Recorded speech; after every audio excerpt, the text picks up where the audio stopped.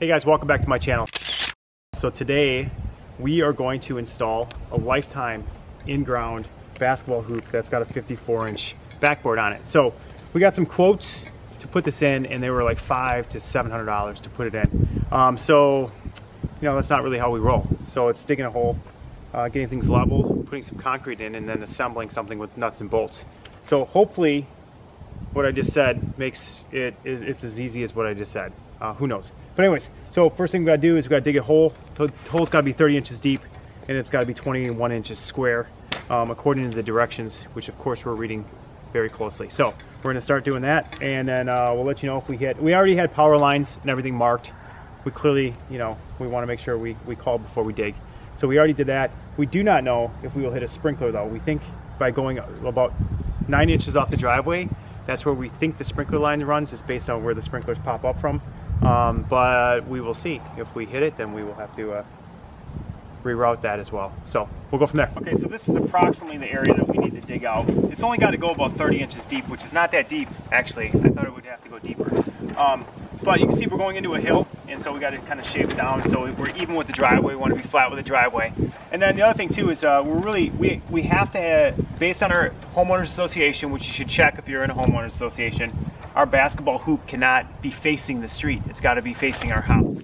So it will be facing our garages, and uh, that's based on um, home, our homeowners association for us. Yours might be different. You have to have an in-ground basketball hoop. You cannot have one that rolls, you roll in and roll out or whatever. So we don't want to do that. And then the other thing I'm nervous about is, you know, backing in and out of our driveway. Our driveway is pretty long. Um, my daughter's going to be a new driver here in a, probably about three, four weeks. And uh, we wanted to go a little bit off the driveway just in case she's backing out. Um, we're hoping she won't clip it. Um, or coming out of the garage that she'll have plenty of room to make uh, back and, and, turn to go go out of the driveway. So hopefully that all happens. Um, I think we got a better shot that she'll hit the house more than she'll hit this garage, this basketball hoop. But we're taking some precautions, so we'll see how that works out.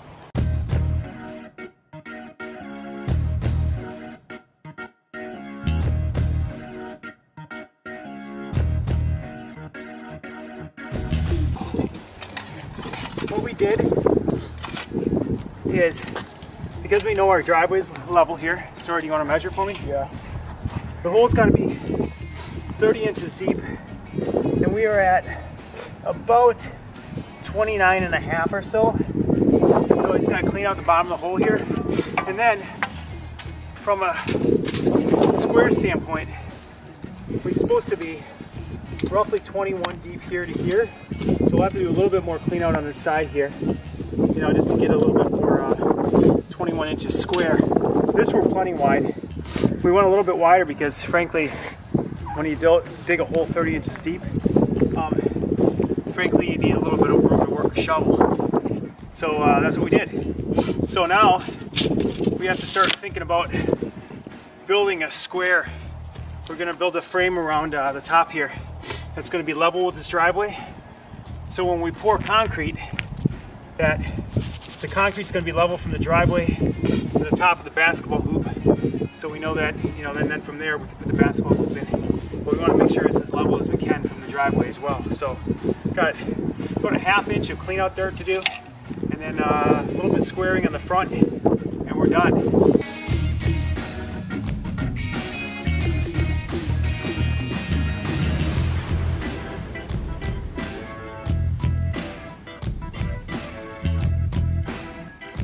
Okay, so we're at the point where we are going to frame up what our box is going to look like for um, basically pouring our concrete in. I'm doing it so you get a nice square box um, in the ground. Uh, so when we pour the concrete, we'll pour so it's level to the top of this.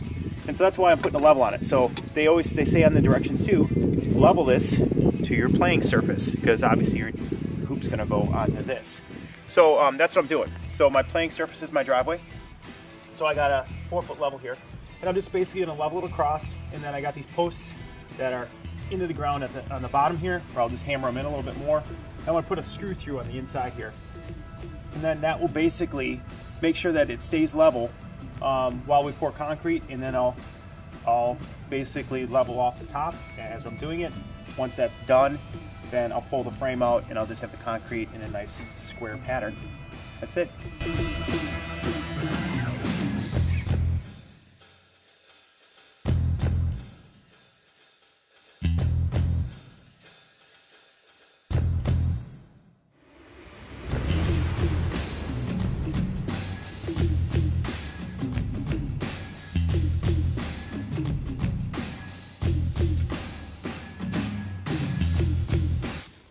Okay, so we're pouring our basketball, in-ground basketball anchors in.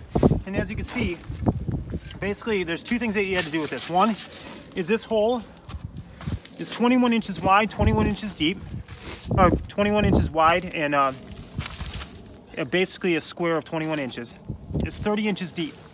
So after you get about 18 inches from the top of the hole with concrete, you put these four pieces of rebar in. And basically the, idea is, is you put those in, and then when these go in, the J-hooks go along the side of it, right? And so that way the J-hooks and between the rebar and the J-hooks, it'll be really, really, really secure. So that's the idea is that you do that. And uh, then you fill the hole back up to the complete top. And uh, then we wait for a couple days for it to dry. That's it.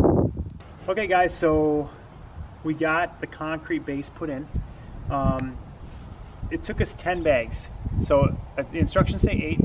Um, we used 10 80 pound bags and we used a mixer that we got for, it's $35 for four hours from Home Depot.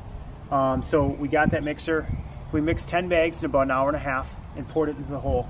Um, it really worked pretty quickly. So I did use my two sons to help me pour.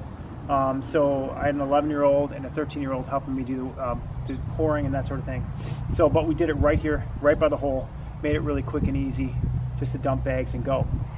So as you can see, we got it all done. It's in, it's kind of pitched a little bit away from the hole um, just to make sure that it, uh, we don't get, this doesn't fill up. We don't want it to fill up. So it's a little bit rounded off on the tops just so the water goes off of it. But um, it is completely level with our playing surface here. So if I did a, if I did something like this, crossed it, it's completely level with the surface. You can see I'm right in the middle of the dot there. Same thing on this one. You know, I'm right on the surface of it. So it's perfect. I made sure to level both to the, the playing surface, which is our driveway, as well as sideways, so we weren't tipping or doing anything really weird. And then um, I'll let it dry a little bit, and then I'll, I'll, kind of, I'll just surface it a little bit, just to make sure that looks really nice on the top.